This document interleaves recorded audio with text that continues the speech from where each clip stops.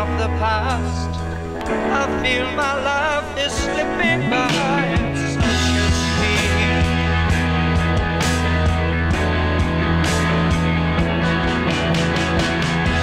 The things I knew have gone, and those I loved I took for granted.